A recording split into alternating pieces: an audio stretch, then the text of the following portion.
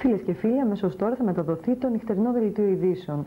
20 λεπτά αργότερα, ο νυχτερινός επισκέπτης φιλοξενεί τη συγγραφέα Μάρο Δούκα. Την εκπομπή παρουσιάζει ο Άρης Κιαδόπουλος.